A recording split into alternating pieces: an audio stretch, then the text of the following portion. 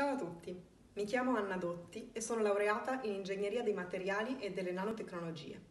In questo video vi spiegherò brevemente il significato di alcune parole fondamentali nell'ambito dei nuovi materiali.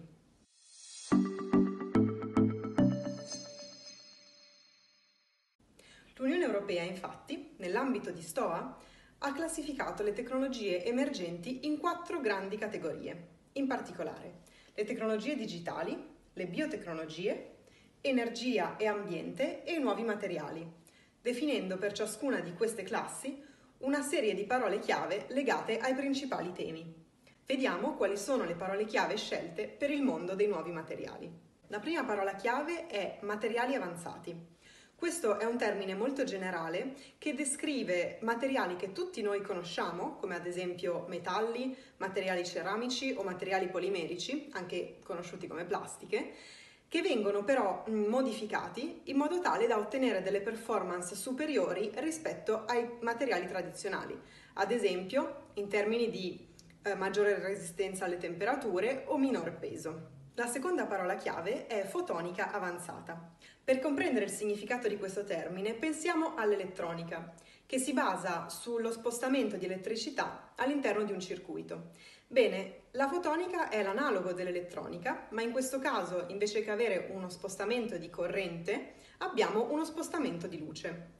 Per quanto possa sembrare una parola futuristica, la fotonica è in realtà già parte delle nostre vite. Infatti sono basati sulla fotonica i laser e le fibre ottiche. Un'altra grande classe di nuovi materiali sono i materiali cosiddetti biomimetici. Come dice la parola, questo tipo di materiali si ispira alla natura imitandone e replicandone le strategie. Un classico esempio sono materiali adesivi che eh, si ispirano alla struttura delle zampe dei gechi. Uno dei filoni di maggiore interesse tecnologico nell'ambito dei nuovi materiali è quello della elettronica flessibile. Abbiamo tutti in mente i televisori con lo schermo curvo o quei cellulari nei quali è possibile piegare lo schermo. Bene, in questi dispositivi il silicio e gli altri materiali tradizionali dell'elettronica vengono sostituiti da materiali polimerici, che oltre a essere flessibili sono anche più leggeri e più resistenti agli urti. Lo sviluppo dell'elettronica flessibile, oltre agli esempi che vi ho citato, permette di eh, progredire nell'ambito dell'elettronica portatile e dell'elettronica indossabile, proprio grazie al minor peso di questi dispositivi.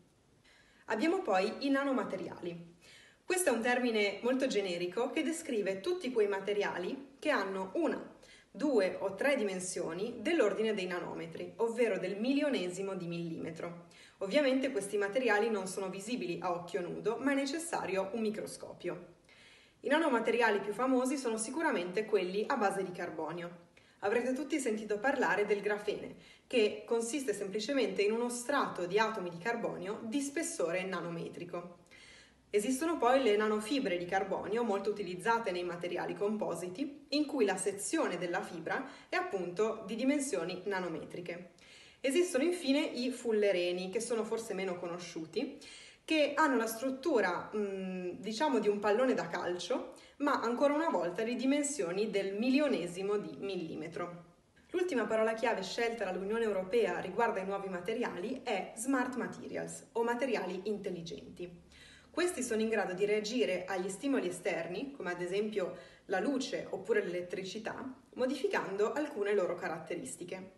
Un esempio che sicuramente conoscerete è quello delle lenti fotocromatiche.